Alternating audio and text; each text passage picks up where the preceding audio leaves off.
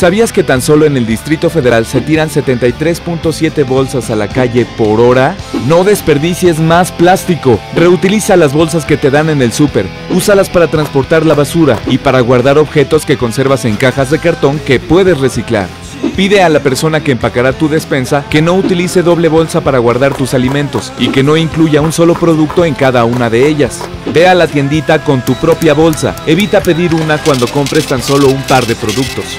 Aunque las bolsas verdes que venden en el supermercado son reutilizables, no pierdas de vista que estas se produjeron en China y que la energía invertida en traerlas a nuestro país también contamina. Mejor usa bolsas de rafia, son útiles, resistentes y de producción nacional. Únete al consumo sustentable y cuida el planeta.